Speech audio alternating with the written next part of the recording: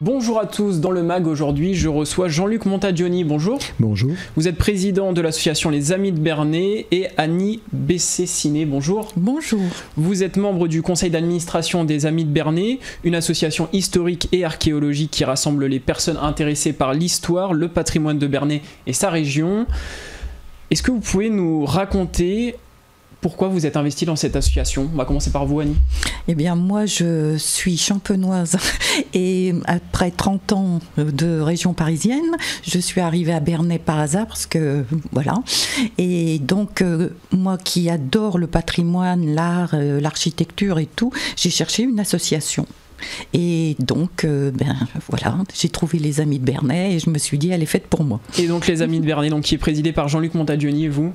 Alors, pour moi, j'avais un grand-père qui était instituteur, qui s'intéressait à l'histoire locale, qui avait écrit des monographies d'histoire locale.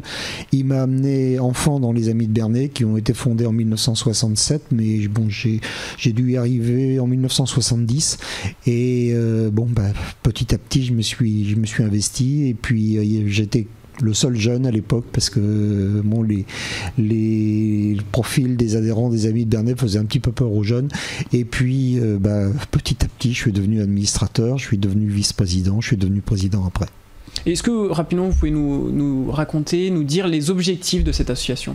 Alors les objectifs des Amis de Bernay, c'est de, bah, de collecter et d'écrire l'histoire de Bernay dans son sens le, plus large, mais c'est aussi de défendre son, son patrimoine, d'en assurer la valorisation, puisque les, conditions de la création des Amis de Bernay, c'est quelques années avant la, la création officielle, euh, les futurs créateurs des Amis de Bernay, au tout début des années 60, se sont émus quand le maire de l'époque voulait raser l'ensemble de la gabelle où nous trouvons aujourd'hui. Et suite à une campagne de presse, euh, le André Malraux a pu prononcer l'inscription à l'inventaire supplémentaire au monument historique de la gabelle et donc euh, éviter sa destruction. Par contre, l'ancien collège, l'ancien collège à l'emplacement de la poste n'a pas pu être sauvé parce que là, le maire va dire on va pas m'avoir une deuxième fois et il a pris, il a anticipé. Autrement, c'est, je crois, vraiment l'ancien collège qui a été euh, là la destruction de l'ancien collège qui n'a pas pu être évitée, qui a été vraiment le, fait déclenchant pour que l'association se fonde. enfin, à l'époque, j'avais 8, ans, j'ai pas vu le, j'ai pas vu le coup, le coup se faire. Alors cette association, elle participe à la défense du patrimoine historique et artistique de la ville. Quel est ce patrimoine justement? Alors le patrimoine de Bernay, pendant longtemps, euh, on a vu les églises, on a vu les maisons anciennes à pont de bois, puisqu'on va rappeler que Bernay partage avec Bayeux le, le, privilège de ne pas avoir été ou très peu détruite par les bombardements de la Seconde Guerre mondiale. Donc elle est quasiment intacte. Euh, et puis euh, donc les vieilles maisons, à l'époque où, par exemple les maisons de la rue Gaston-Follop, à l'époque où l'abbatiale n'était pas encore restaurée, n'avait pas encore euh, repris, repris sa place, qu'elle n'a pas encore complètement prise d'ailleurs, parce que les Bernéens ne se rendent pas forcément compte de la valeur archéologique de, de l'abbatiale, mais on y vient petit à petit. Donc le patrimoine, c'est donc les vieilles maisons, les églises paroissiales, l'abbatiale et l'abbaye qui l'entourent. Et puis aussi, je dirais, la globalité du bâti de, de, Bernay et la globalité de son environnement naturel aussi, qui est assez préservé. Quel est le lieu ou euh, le monument le plus emblématique de Bernay Alors pour moi c'est l'abbatiale parce que c'est ce qui contribue au rayonnement du nom de Bernay, on va dire tout en Europe. Hein. On, va, on va se rappeler une anecdote qu'on m'a citée. Quand euh, sous l'occupation il y a des, des, des, des, soldats allemands qui étaient des universitaires dans le civil qui arrivaient à Bernay au hasard des affectations et qui demandaient à voir l'abbatiale. Parce que le renom de l'abbatiale jusqu'en Allemagne... Euh, était déjà euh, très important. Et ben, les Bernéens étaient vraiment très surpris que, que en Allemagne on connaisse l'abbatiale de Bernay, alors que l'abbatiale c'était un garage pour véhicules municipaux et un stockage de blé avec euh, des locaux associatifs et elle était cloisonnée dans tous les sens. Donc elle a vraiment, euh, là pour commencer un petit peu à partir sur l'abbatiale, on en parlait encore récemment, c'est un monument, c'est la plus ancienne grande église de Normandie encore debout. Et euh, pour sa construction, les, bâtisseurs étaient encore inexpérimentés. Ils ont beaucoup bricolé. Le mot est très vilain, mais ils ont tâtonné, ils ont énormément bricolé. Aujourd'hui, les archéologues s'arrachent les cheveux, on pourrait dire, pour essayer de retrouver le cheminement des constructeurs de l'abbatiale et ce qu'ils ont voulu faire, est-ce qu'ils ont changé en cours de construction? Et la construction s'étant étalée sur 60 ans, bah, les changements, beaucoup de changements sont faits en cours de construction. Et puis on essaie un petit peu de démêler tout ça.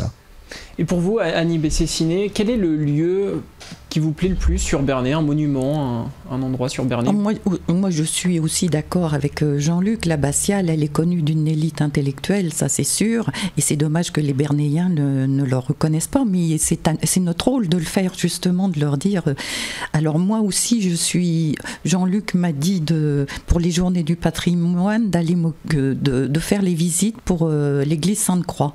Et c'est vrai que j'ai été enchantée parce qu'elle a un passé qui est extraordinaire. Elle, est, elle rentre pas dans les clous parce qu'elle elle, a été orientée bizarrement parce que le terrain était disposé d'une façon, bon, on ne pouvait pas faire autrement.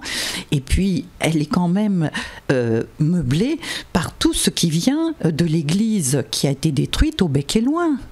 Donc ça, moi, mon rêve, ça serait qu'il y ait une rencontre, enfin quelque chose, un, projet au niveau touristique qui amène les gens du Bec à venir ici à Bernay voir ce qu'il y avait dans l'église euh, du Bec et loin ça, euh, voilà. C'est un votre rêve, ah, un oui, projet à, ah mener. Ah J'aimerais qu'on parle aussi d'un travail que vous avez entrepris avec euh, Marie Strouillet.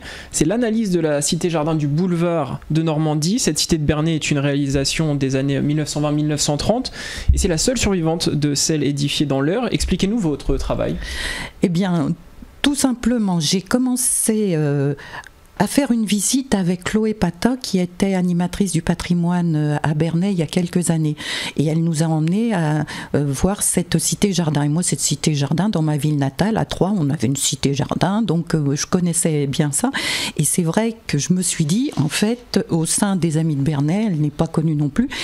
Je me suis rendu compte qu'au sein des Bernéens, elle n'est pas connue non plus. Quand on leur dit qu'il y a une cité-jardin, ah ben où c'est? Ben, C'est Chloé Pata qui en a révélé la valeur patrimoniale oui, Oui, Et donc, euh, bon, bah, j'ai continué. C'est une champenoise aussi, donc c'était un devoir de poursuivre son, son travail.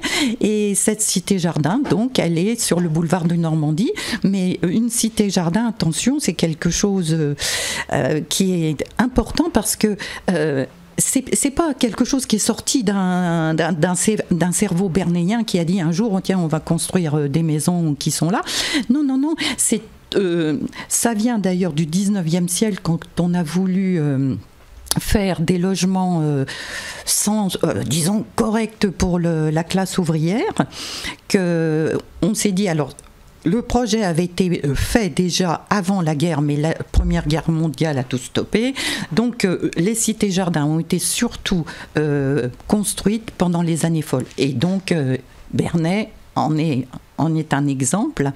Et c'est un concept vraiment de d'Ebenezer Howard, un, Anglais, qui voulait quelque chose d'autonome, c'est-à-dire euh, une entité où les gens étaient autonomes, avec une place où ils pourraient se rencontrer, avec des services, avec des maisons. La voirie est euh, incluse dans le projet, euh, les, eaux usées, tout est inclus dans le projet. Et d'ailleurs, cette cité-jardin, au départ, elle a été construite sur le boulevard de Normandie, mais alors le boulevard de Normandie, il était avec la cité Jardin, c'est-à-dire que la cité Jardin était entre les deux bras de la Charentonne. Donc il s'arrêtait aux deux bras de la Charentonne. Au-delà, il n'y avait rien. Donc, et la cité Jardin, c'est donc le, l'immeuble que six loges, parce que c'est six loges qui, en fait, euh, et le, ce sont eux qui l'ont fait parce qu'au départ, ça s'appelait Société anonyme euh, d'habitation bon marché qui a été fondée en 1929 par une équipe dingue municipale, mais des années folles. C'était des gens qui sortaient de la guerre, c'était des gens qui avaient envie de faire de, tout casser. Et euh, donc euh, c'est surtout Silla Lefebvre qui a été l'initiateur de, ça. Et ils ont demandé à un architecte qui est Fernand Rimbert de, de faire cette cette cité jardin qui comprend donc l'immeuble qu'on appelle le Normandie, qui est art déco. Et tout autour, vous avez les maisons euh, qui sont d'un style régionaliste, ce qu'on appelle. Donc il y a vraiment un style très on retrouve, euh, on retrouve les colombages. Et dans les autres, les cités-jardins, il va y en avoir dans le monde Dans le monde entier. Eh bien, merci à vous, Annie Bessessiné et Jean-Luc Montagioni, d'avoir participé. Sachez que vous pouvez également retrouver cette émission sur notre site et application Radio Sensation.